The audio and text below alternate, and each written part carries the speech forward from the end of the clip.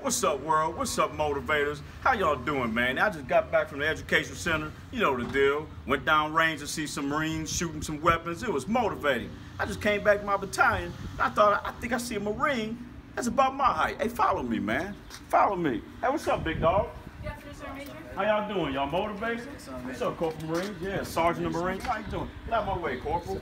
Hey, hey, Sergeant Marines, how tall are you? I'm five three, sir, Major. She's five three. She five three. I'm five three.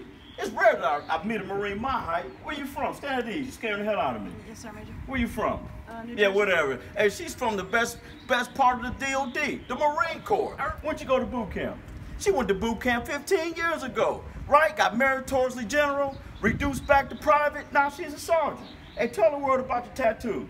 Tell them. Knuckles. Yeah? What else? What's that? Live, love, lead. Live, love, yeah, live, love. What else you got? What's that right there? Hey, that's some Chesty Puller with little O from A. Johnson. Hey, when I count to three, Sergeant, five foot three, same height. But she ain't getting another channel. There's only one channel. When I count to three, you gonna say Marine Corps loud as you can. You ready? Yes, sir, You got anything else to tell the world? Ruh. That's as loud as you can get. Oh, we're gonna get now, sir. All right, let's go on three. Yeah, she challenged the Sergeant Major. You ready? One, What we say? Two. Oh, we saying Marine Corps. One, two, three. Marine Corps! That's what I'm talking about.